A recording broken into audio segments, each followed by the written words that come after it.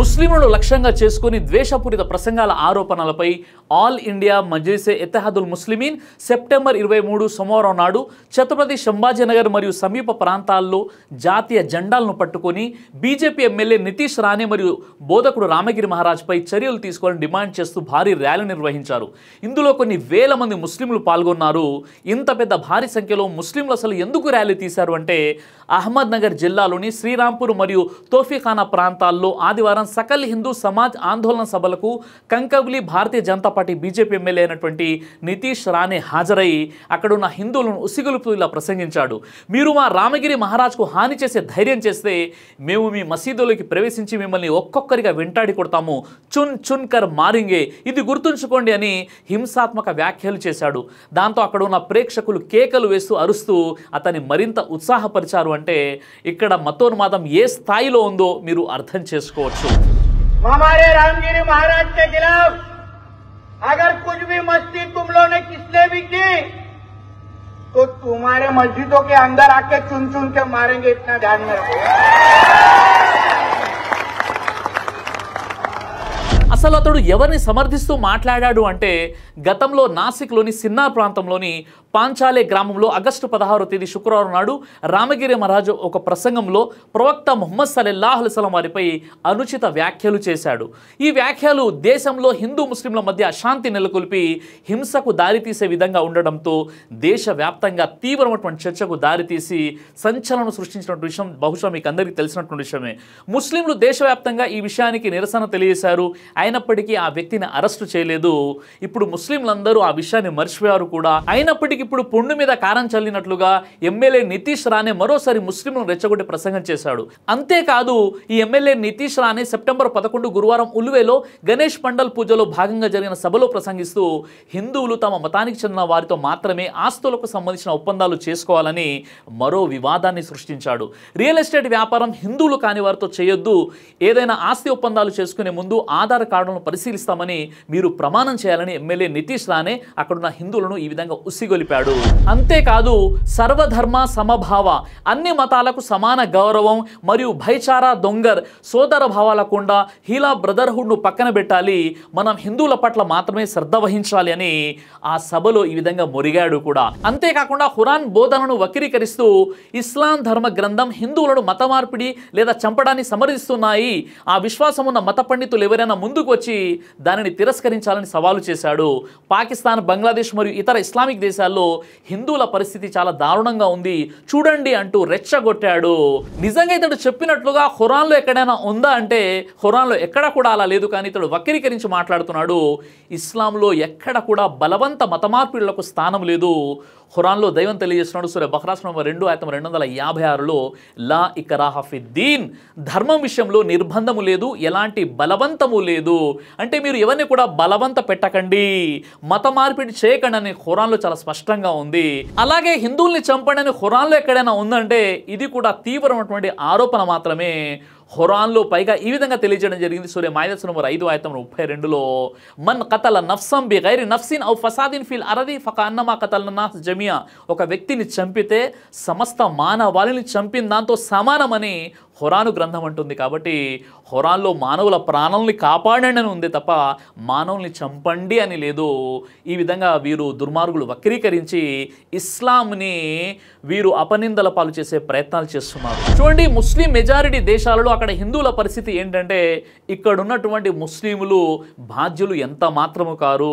అయినప్పటికీ అక్కడ జరిగేది ఒకటైతే మరొక విధంగా ఈ స్వార్థ రాజకీయ ప్రయోజనాల కోసం పూర్తి వార్తలను మార్చేసి ఇక్కడ ప్రచారం చేస్తూ ఉంటారు. బంగ్లాదేశ్లో ఉన్నటువంటి హిందువులు హింసించబడుతున్నారని భారతదేశంలో ఉన్నటువంటి ముస్లింలను మేము హింసిస్తామంటే ఇక అది మానవత్వం ఎలా అవుతుంది? ఒక్కసారి మీరే ఆలోచించండి. అక్కడ ఉన్నటువంటి హిందువులను మీరు ద్వేషించండి అని ఇక్కడ ముస్లింలు ఎవరైనా చెప్పారా? ఎంత దుర్మార్గం మీద ఒక్కసారి మీరు ఆలోచించండి. అయినా అక్కడ జరుగుతున్నది ఒకటి ప్రచారం జరుగుతున్నది మరొకటి. అక్కడ జరిగే పరిస్థితులకు ఏ ముస్లింలు కూడా బాధ్యులు కారు కదా? గతంలో ముఫ్తీ సల్మాన్ అజహరీ ఒక సభలో షాయరీ అంటే కవిత్వం చదివినందుకు ఆ కవిత్వంలో ఒక వివాద వివాదాస్పద పదం ఉన్నందుకు వెంటనే అతనిపై ఎవరు ఫిర్యాదు చేయకపోయినప్పటికీ గుజరాత్లోని అహ్మదాబాద్ పోలీసులు అతని సుమోటోగా కేసు నమోదు చేసి అరెస్టు చేసి జైల్లో పెట్టేశారు. అతనిపై మూడు ఎఫ్ఐఆర్లు కూడా నమోదయ్యాయి. ఆ తర్వాత అతనికి బెయిలు లభించింది.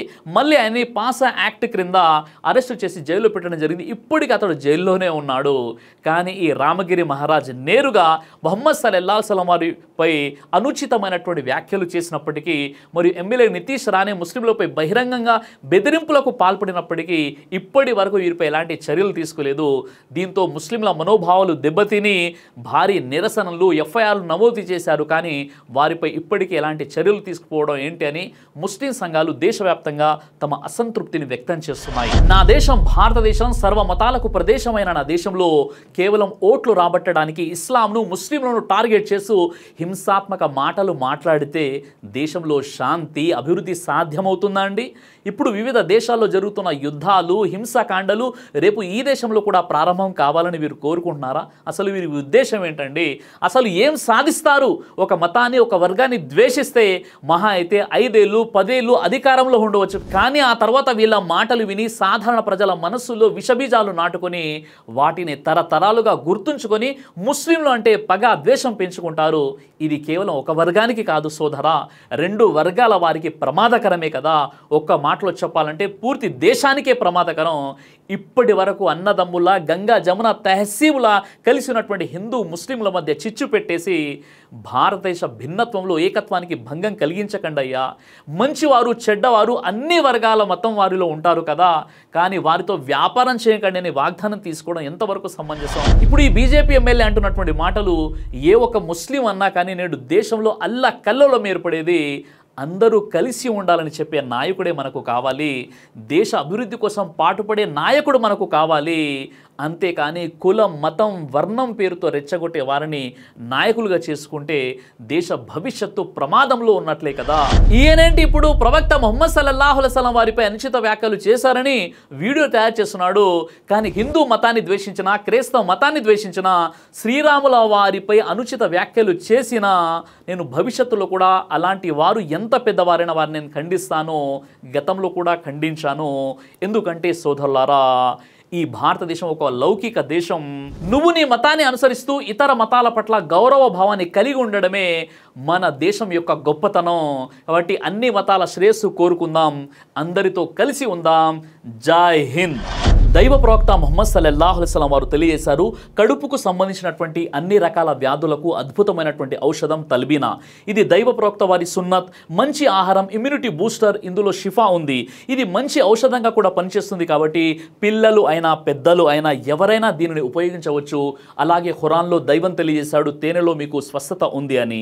కాబట్టి స్వచ్ఛమైనటువంటి ఫారెస్ట్ హనీ కోసం మీరు సంప్రదించండి. అలాగే పురుషుల కోసం ప్రత్యేకంగా తయారు చేయబడినటువంటి షాహీ హల్వా ఇది లైంగిక సమస్యలను దూరం చేసి శృంగార సామర్థ్యాన్ని పెంచుతుంది. మీ దాంపత్య జీవితంలో మంచి అనుభూతినిస్తుంది ఇందులో ఎలాంటి సైడ్ ఎఫెక్ట్స్ లేవు. ఇది కంప్లీట్గా హెర్బల్ ప్రొడక్ట్స్తో తయారు చేయబడినటువంటిది. కాబట్టి స్క్రీన్పై కనిపిస్తున్నటువంటి ఈ నెంబర్స్కి కాల్ చేసి మీరు ఇప్పుడే ఈ ప్రొడక్ట్స్ని ఆర్డర్ చేసుకోవచ్చు. కొరియర్ ఫెసిలిటీ కూడా ఉంది. ఆలస్యం ఎందుకు? వెంటనే ఆర్డర్ చేయండి.